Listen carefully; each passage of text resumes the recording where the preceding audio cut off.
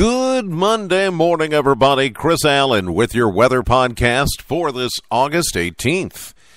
Well, we got some more heavy rain yesterday over parts of the area and um, Saturday evening as well.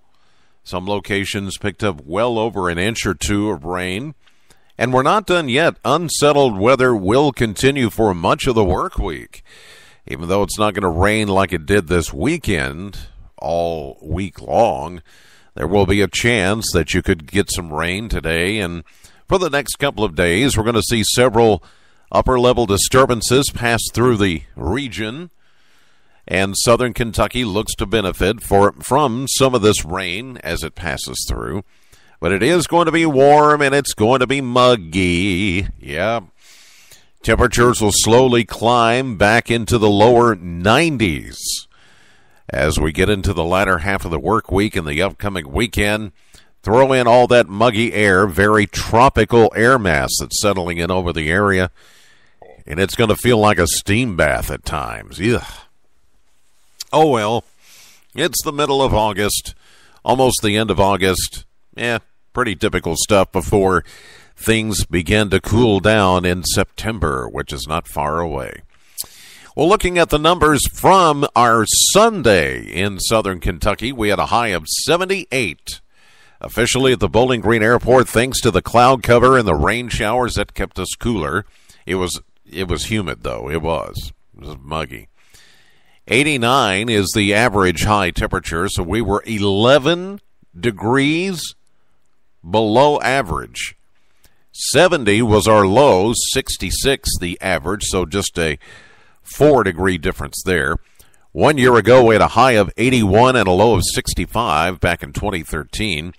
And at the airport yesterday, Bowling Green Airport registered 81 hundredths of an inch of rain.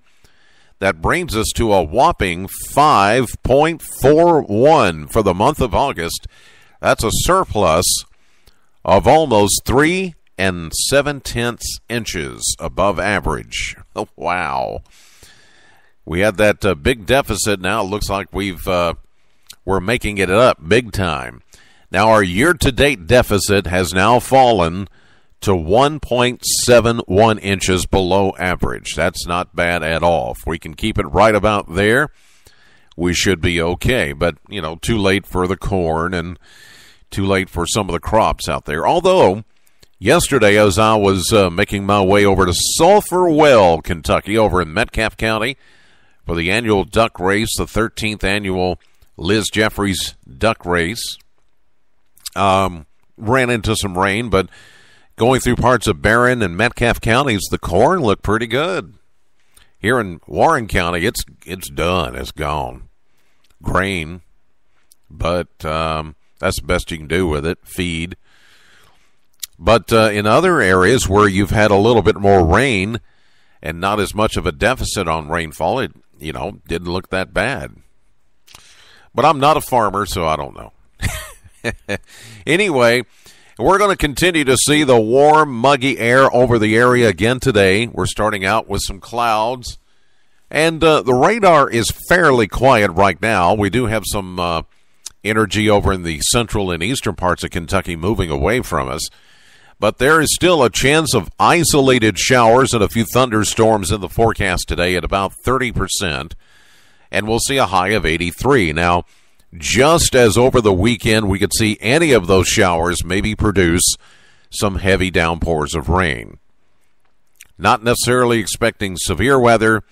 We did have some flood advisories and one flash flood warning yesterday in Muhlenberg County where they did have some flooding. They had about six inches of rain in a short amount of time. They had a lot of street flooding there in Central City, Powderly, and over in Greenville. And, you know, for about eight minutes, they did actually have a tornado warning, although nothing really materialized from that. It was just mainly radar indicated, uh, some circulation showing up on the uh, velocity scopes on the radar, but uh, nothing really materialized. And Apparently, there was a, a funnel cloud or a brief spin up up in Henderson, Kentucky, right on the Ohio River. Uh, some minor damage from that. But we're not really expecting severe weather, although somebody asked me yesterday, I thought there, were, there was no severe weather to be talked about. Uh, it hadn't been talked about, and no, you would be correct. But as we say with any uh, you know stronger thunderstorms, any place, any time, if the conditions are right, you don't have to have necessarily a heads up that the storms are going to go severe. Sometimes we get uh, enough mixing in the atmosphere, especially in the mid levels of the atmosphere, and that mixing, if it those gusty winds at higher elevations make it down to the ground, you can have a gusty thunderstorm, and for brief moments, it can go maybe uh, criteria severe, but we're not looking at a widespread severe weather situation here. As we get into tonight, cloudy, muggy, isolated showers, 70 the overnight low. 85 for Tuesday. We brought down the numbers uh, because of the cloud cover and the chance of showers at 40%, a few thunderstorms, heavy rainfall, any of those that pop up. Wednesday, continued 40% chance of scattered showers and thunderstorms, 88.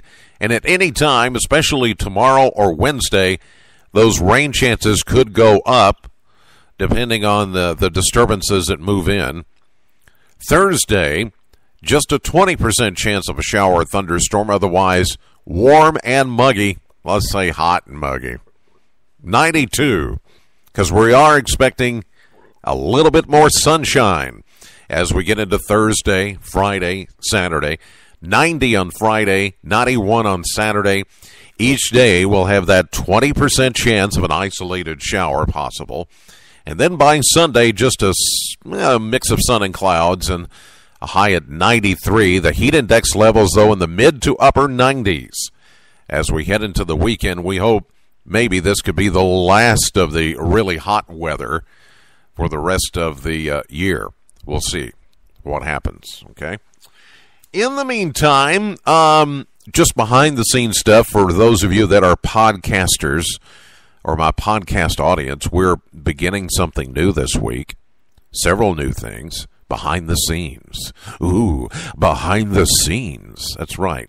We've got all new weather equipment. Brand new, state of the art, top of the line. I'm talking the best weather equipment that's out there. And uh, we're excited about this because it's in HD and um, it has some brand new software. It can do some new things that maybe you haven't seen on any other channels around, and that would include the Weather Channel and all the other channels that you can pick up around here. We're working on some brand new things, some groundbreaking technology, and you know, just because we're Bowling Green, Kentucky, doesn't mean we're you know going to take a back seat. We, you just don't put baby in the corner, you know, as they said on Dirty Dancing, the movie. But anyway, uh, training starts uh, this week on the new uh, equipment that we hope to debut sometime in September. And we're also bringing back an old friend. Many of you may remember Matt Stevens. He was uh, he worked here weekends and filled in for a while. He is now going to become the fourth member of the First Alert Storm Team starting today and Matt's going to start training with us and filling in as uh, Shane and I and Christy have time off and going to conferences. And Shane's got his uh, holiday vacations trip coming up in October. I've got National Weather Association uh, conference in Salt Lake City coming up in October. So um, we needed that fourth member of the team, and now we have four people working as your first alert storm team. So Lots of things taking place just when you think it's getting quiet, things kind of change. That's the nature of this business. Uh, so, uh, excited to tell you about those things, and hopefully soon you'll see uh, some of those changes taking place. And they're all good. So, uh, thank you for your loyalty. Thank you for trusting in us. And we're doing our part to uh, keep things onward and upward and moving forward. God bless you as always, and thank you for listening to the podcast as always. Know the weather before it knows you. Have a great day. I'll see you live at 5:30 on AM Kentucky and streaming live to the WBKO app and to WBKO.com.